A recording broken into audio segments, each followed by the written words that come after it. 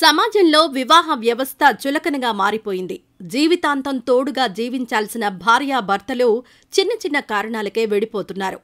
అవి ఎలా ఉంటున్నాయంటే విడిపోవడానికి ఇవి కారణాలేనా అని అనిపిస్తాయి. ముఖ్యంగా ట్రిపుల్ తలాక్ విషయంలో పలువురు చెప్పే రీజన్స్ సిల్లీగా అనిపిస్తాయి. కూరలో ఉప్పు వేయలేదని చపాతీలు మాడిపోయాయని ఇంటిని శుభ్రంగా ఉంచుకోలేదని ఇలా పలు సాకులు చెప్పి ట్రిపుల్ తలాక్ చెప్పేస్తున్నారు. వివాహ బంధానికున్న గొప్పతనాన్ని దిగజారుస్తున్నారు. తాజాగా ఉత్తరప్రదేశ్లోని మీరట్లో ఇలాంటి అమానవీయ ఘటనే జరిగింది.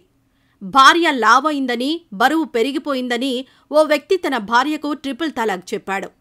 ఊహించని పరిణామానికి షాక్ అయిన బాధితురాలు తనకు న్యాయం చేయాలని పోలీసులను ఆశ్రయించింది. తన భర్తపై చట్టపరమైన చర్యలు తీసుకోవాలని కంప్లైంట్ చేసింది.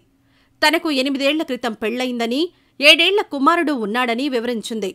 నెల రోజుల క్రితం తనను భర్త ఇంటి నుంచి గెంటివేశాడని లావయ్యావని ట్రిపుల్ తలాక్ చెప్పాడని కన్నీటి పర్యంతమైంది.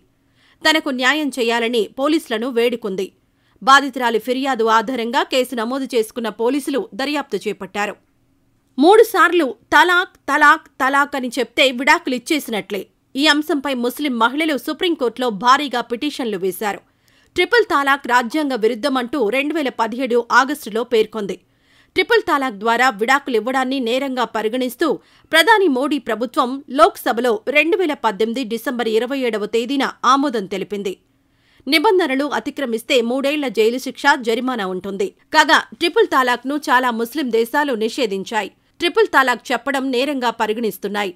Pakistan Bangladesh Turkey Cyprus Tunisia Malaysia Iran Sri Lanka Jordan Algeria Indonesia UAE Qatar Sudan Morocco Egypt Iraq Brunei లాంటి దేశాలు నిషేధించాయి.